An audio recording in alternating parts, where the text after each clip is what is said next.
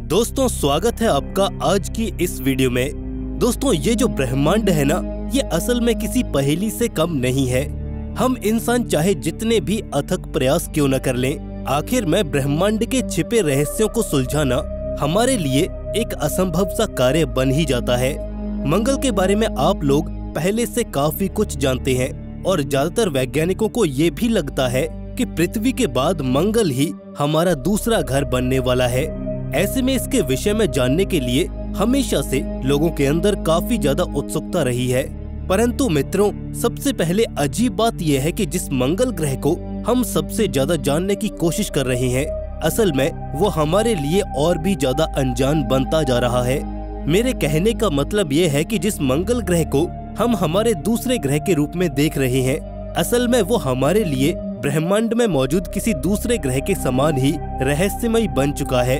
हाल ही में वैज्ञानिकों को मंगल ग्रह के विषय में कुछ इस तरह की अजीब चीज़ों के बारे में पता चला, जो किसी भी नॉर्मल इंसान को चौंका सकती हैं।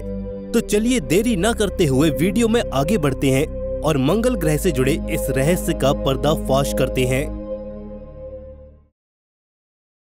दोस्तों, वैज्ञानिकों को हाल ही में मंगल ग्रह की सतह पर एक बहुत ही अजीब चीज़ देखने को मिली है दरअसल बात यह है कि मंगल ग्रह की सतह पर कुछ प्राचीन दरार देखने को मिले हैं। आकार में ये किसी पॉलीगॉन के जैसे ही हैं, परंतु इन दरारों में कुछ तो खास बात ज़रूर है क्योंकि इनके अंदर एक अनोखा पैटर्न देखने को मिला है। कुछ वैज्ञानिक इस अनोखे पैटर्न को एलियन से जोड़कर देख रहे हैं और कह रहे हैं कि यहाँ किसी जमाने में एलियंस रहा करते थे। दोस्तों एक रिपोर्ट से पता चला है कि ज़मीन के ऊपर मौजूद ये दरार लगभग तीन अरब वर्ष पुरानी हो सकती है। इसके अलावा अधिक जानकारी के लिए आप लोगों को बता दूँ कि ये दरार ग्रह की सतह में होने वाले लंबे व प्रतिकूल एनवायरनमेंट में होने वाले टेम्परेचर के बदलाव से बनी है। खैर, ज़मीन की ये दरार ग्रह की सतह पर मौजूद कीचड़ से ही बनी हुई है, जो कि शायद यहाँ काफ़ी लंबे समय से बनकर सूख चुका है। 2021 में पहली बार वैज्ञानिकों के पास इन दरारों की तस्वीर आई थी, तब से ही इनके ऊपर काम चालू है। वैसे एक खास बात यह है कि ये सारे के सारे पॉलीगोन आकार की दरारें माउंट शाप के ऊपर देखे गए हैं, जो कि गेल क्रेटर के पास मौजूद है। बताता चलूँ कि ये जगह मंगल ग्रह की सतह से लगभग 4.8 किलोमीटर की ऊंचाई पर स्थित है। वैसे कुछ रिपोर्ट्स के अनुसार ये पॉलीगोन आकृति की दरारें लगभग 3.6 से 3.8 अरब वर्ष पुराने हो सकते हैं। वैसे इसके बारे में और भी ज़्यादा प्रयोग चल रहे हैं। दोस्तों, ये एक शॉकिंग बात है कि खोज के शुरुआती दिनों में ये दरारें वैज्ञानिकों को सिर्फ़ कीचड़ से बनी हुई आम आकृतियों के रूप में दिखाई पड़े थे, परंतु मंगल ग्रह के ऊपर जैसे जैसे खोज होने लगी, उसके बाद ये पता चला कि एक जमाने में मंगल पानी से भरा हुआ एक गीला ग्रह हुआ करता था, जहाँ पानी और धूल आपस में मिलकर कीचड़ बनाया करते थे हालाँकि कुछ वैज्ञानिकों का ये कहना है कि मंगल ग्रह के ऊपर होने वाले लगातार वेट ड्राई साइकिल के कारण भी सतह पर इस तरह की दरारें बनी हुई हैं।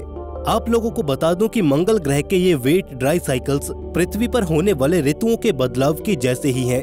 वैसे यहाँ पर एक चौंका देने वाली बात यह है कि मंगल ग्रह के ऊपर होने वाले वेट ड्राई साइकिल के बारे में पहले से पता नहीं था इसके अलावा एक खास बात यह है कि मंगल ग्रह के ऊपर हो रहे इन बदलावों को वैज्ञानिक बड़ी ही उत्सुकता के साथ विश्लेषित कर रहे हैं, जो कि आने वाले समय में मार्स से जुड़ी कई सारे रहस्यों को सामने लेकर आएगा इसके अलावा एक बात ये भी है कि मंगल ग्रह के ऊपर दिखाई देने वाली ये दरारें एलियंस के मौजूदगी की सबसे पहला पुख्ता सबूत है। वैसे खास बात यह है कि सतह के ऊपर आने वाली ये दरारें मंगल के ऊपर मॉलिकुलर एवोल्यूशन के बारे में और भी ज़्यादा जानकारी को इकट्ठा करने में मदद करेगा।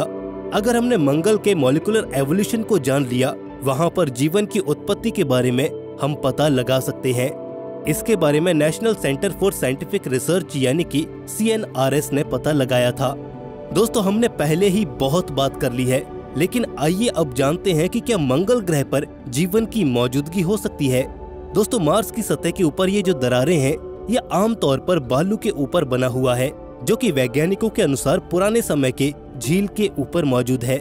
एक दिलचस्प बात ये भी है कि इन झीलों में सल्फेट की मात्रा बहुत ज़्यादा होती है पानी सूख जाने के बाद झील में सल्फेट के पार्टिकल्स काफ़ी ज़्यादा नज़र आते हैं। खैर, कुछ वैज्ञानिक ये कहते हैं कि झील के सूख जाने के बाद सतह में दरारें दिखना शुरू हो गई थीं। वैसे दोस्तों, यहाँ पर एक दिलचस्प बात ये भी है कि 2017 में इस तरह की चीज़ों को सबसे पहले खोजा गया था। उस समय इस तरह की दरार टी शेप की आकृति में हुआ करते थे, परंतु आज के समय में इन दरारों का आकार काफ़ी ज़्यादा बदल चुका है। एक बात ये भी है कि इन दरारों की तस्वीर आज वैज्ञानिक और भी ज़्यादा बेहतर ढंग से देख पा रहे हैं हालाँकि मंगल के ऊपर इन दरारों की संख्या पहले से काफ़ी ज़्यादा बढ़ चुकी है और इनके बारे में भी आज पता लगाना बाकी है अभी की रिपोर्ट्स के अनुसार मंगल के ऊपर जितनी भी दरारें मौजूद हैं, वो सभी दरारें काफ़ी ज़्यादा सूख चुकी हैं। कहने का मतलब यह है कि ये सभी दरारें समय के साथ कई बार भीग कर सूख चुकी हैं, जिसके कारण इनके ऊपर काफ़ी ज़्यादा मात्रा में सल्फेट को देखा जा सकता है। वैसे इसका मतलब ये भी है कि मंगल ग्रह की सतह पर पानी का लेवल कई बार ऊपर नीचे हुआ होगा। मंगल की सतह पर पानी के लेवल का ऊपर नीचे होना ही इन दरारों के पॉलीगोन आकार के होने का रहस्य है। हालाँकि समय के चलते आकृति में काफ़ी ज़्यादा बदलाव आए हैं और इनकी आकृति में काफ़ी ज़्यादा जटिल आकृतियों को भी देखा जा सकता है। वैसे सबसे खास बात यह है कि पृथ्वी पर भी एक समय इस तरह की दरारों को देखा गया था। क्योंकि इन्हीं दरारों के ज़रिए ही धरती पर सबसे पहले ऑर्गेनिक कणों का दौर शुरू हुआ था। मंगल ग्रह पर सफलता पूर्वक उतरने वाला सबसे पहला अंतरिक्ष यान नासा का वाइकिंग वन था और इसी के साथ एक रहस्य बना हुआ है, जो अभी भी अनसुलझा है। मंगल ग्रह पर जीवन के सबूत क्या है?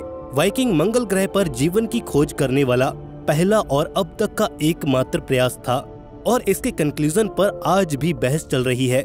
वाइकिंग ने मिथाइल क्लोराइड और डाइक्लोरोमिथेन जैसे कार्बोनिक अणुओं का पता लगाया था।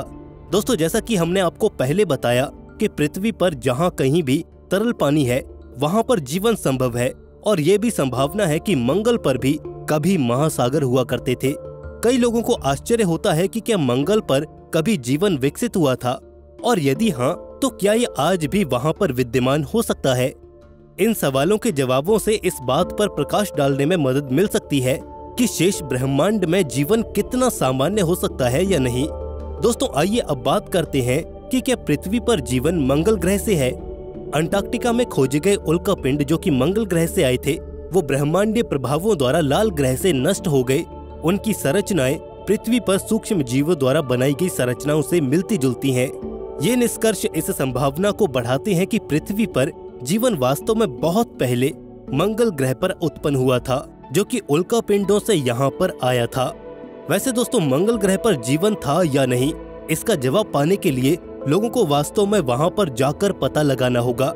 मनुष्य कभी मंगल ग्रह पर जाएगा या नहीं, इसका रहस्य काफ़ी हद तक इस बात पर निर्भर हो सकता है कि क्या लोगों को वहाँ पर जाने के लिए राज़ी किया जा सकता है या नहीं। एक बात ये भी है कि इससे पहले रोवर मंगल ग्रह की सतह पर ऑर्गेनिक कणों को ढूंढकर निकालने में सक्षम हुए हैं।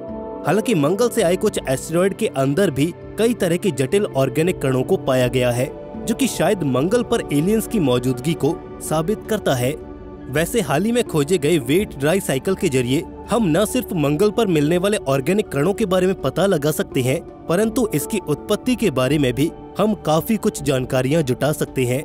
वैसे मित्रों, आपको इस वीडियो को देखकर क्या लगता है? कि क्या सच में मंगल ग्रह पर जीवन संभव हो सकता है? और क्या मंगल पर एलियंस हो सकते हैं? हमें अपनी राय कमेंट बॉक्स में ज़रूर दीजिए। और अगर आपको हमारी ये वीडियो अच्छी लगी तो इसे लाइक करके अपने दोस्तों के साथ शेयर भी कर दीजिए, ताकि वे भी इसके बारे में जान सके। साथ ही हमारे चैनल को भी सब्सक्राइब कर लीजिए। दोस्तों, मिलते हैं नेक्स्ट वीडियो में। तब तक के लिए बाय टेक केयर